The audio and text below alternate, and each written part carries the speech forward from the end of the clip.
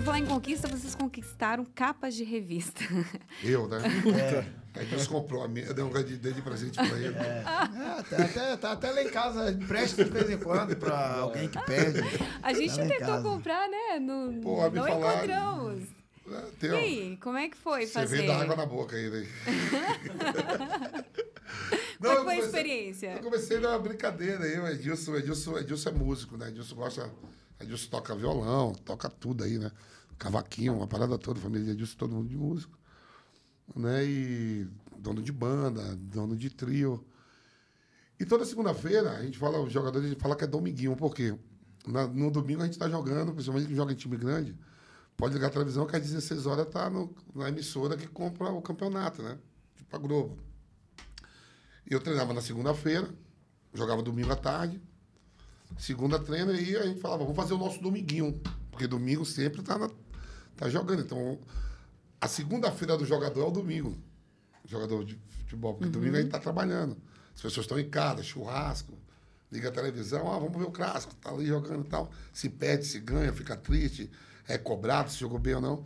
E gente, segunda-feira eu ia os pagodeiros aqui em São Paulo, o pessoal do Arte Popular, Catinguelê, é, o Netinho, os caras faziam um racha deles, pelada deles. E a gente ia lá olhar, a gente tinha amizade, né? Tinha o Terra Brasil, que era uma casa de pagode aqui, Edilson toca tudo. A gente ia lá e saiu assim, ó, uma banda chamada Quebradeira lá da Bahia, o dançarino, o Alex, tinha, da banda, tinha posado nu. Aí estamos na mesa, eu com vários músicos, tudo, os caras falaram, ó, aí o Alex teve coragem de posar nu, eu quero ver um jogador de futebol ter a coragem de posar nu. Eu já de fogo, tá o dono da revista, eu ganhava 25 mil reais na época, Aí o, o cara, o nome, lembro agora como hoje, parece que eu tô na mesa com os caras tudo. O Levi, é do cara da revista, falou, ó.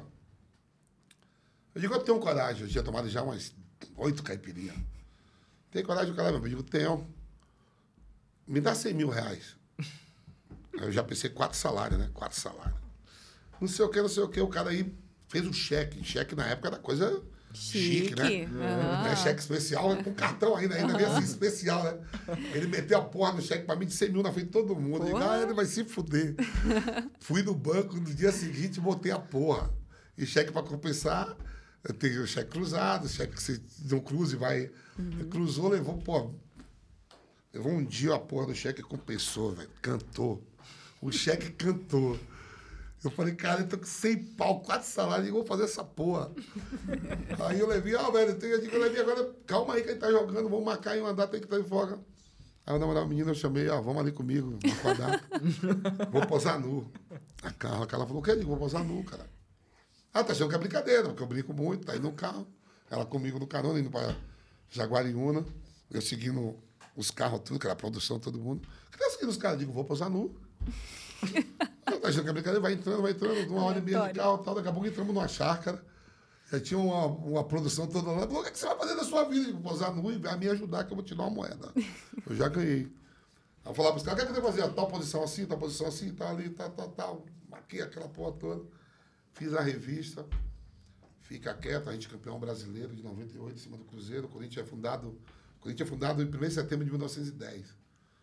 Como é O que Corinthians- o- o Corinthians- porra? O queria Corinthians- o eu tenho Corinthians leva curiosidade, 80 não. anos pra ganhar o Como é que primeiro ele fez brasileiro? pra porra subir, pra tirar essas fotos? É isso que a gente quer saber. beijo É pra isso. lá, carícias. Não fala que deixa agora o Flamengo na. Carícias, amassos. E a posição tá lá, tem que ficar ali assim, não sei o quê.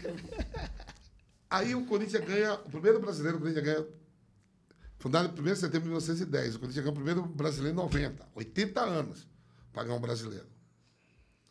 Nós somos campeão brasileiro em 98, eu faço, as, eu faço todas as fotos, tudo. A gente jogando, aí eu ganho na minha posição, como o melhor jogador da minha posição no, no- do Brasil.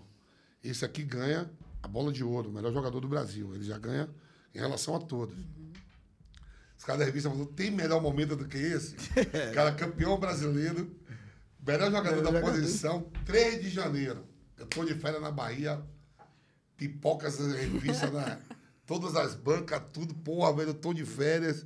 O treinador do Corinthians é o treinador da seleção, cara, o Vanderlei. Caralho, o que, que você fez da sua vida? Eu Porra, nasci nu e tô vestido, pô, não sei o que, papá. Eu tô de férias lá na ilha de Taparica, que eu nasci ali na região do Recôncavo ali, pé de casa. Eu digo, pô, quando eu voltar vai ser, uma, vai ser foda, todo mundo me ligando. que essa porra de pousar não sei o quê. Eu cheguei, me apresento no Corinthians, fazer a Isso foi pré-temporada. que ano? 98. 98. A revista é lançada em 3 de janeiro de 99. Hum.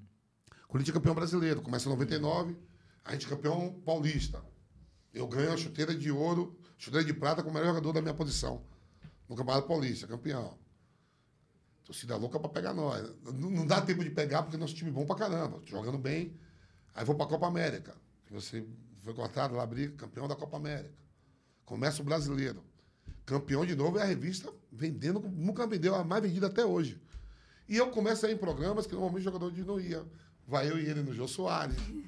Eu vou de frente com o Gabi, eh, sendo elogiado por Neila Torraca, um monte de gente. Eu vou em vários programas para falar da revista. Só que eu tenho até hoje, o cinema mais antigo da América Latina é meu. Eu tenho um cinema que cabe mil pessoas. E o pessoal, quando vê, eu digo, não, pô, eu posei nu porque eu tenho que. O governo não me ajuda, eu tenho que restaurar meu cinema, deixar igual a 1923, senão vai ficar assim. Eu usei o dinheiro que eu posei nu do nudismo para cultura. Fui ali, vaselinando. Cara, você foi muito inteligente. É, e a porra foi indo, foi indo, não deu nada, não deu nada, nada, só elogios. E o que eu peguei, aí eu usufrui também da fama já de ser jogador do Corinthians, da seleção, e de ter posado nu. O que eu ia na balada, o que eu peguei de mulher? Sacanagem, não. Ó. Eu deitei elogios de. Porque hoje é tudo. O que chegava de carta no Corinthians, pra mim, de toda parte do Brasil, eu não lia porra nenhuma, dava, dava, dava pra minha tia lá na Bahia. Mas assim, foi um. Foi um. Porra, eu atropelei vários modelos, viu, velho? Mas, cara, ó. é- a Eu gente- peguei de modelo a, gente, fera. a gente tá falando de uma, uma revista que tinha o público focado no público LGBTQIA+. Mas né? aí pegou todo mundo. É, então, pegou todo mundo, estourou Pela a bolha, repercussão, Até etc hoje né? eu, e dou- eu acho que eu ainda tenho umas, umas 20 revistas dessa guardada. A, a gente, a gente fala muito sobre passos que a gente tá dando pra... Você viu o Sheik deu um selinho no Isaac, os caras queriam matar o Sheik. É, então. Eu posei nu pra revista Exato, gay. Pra revista gay, que um tinha o nome. time. Exato. Então, Foi bom pra você? Pra mim foi ótimo. Então, pra ficar melhor ainda, clica aqui no link abaixo e saiba mais sobre o Fatal Premium.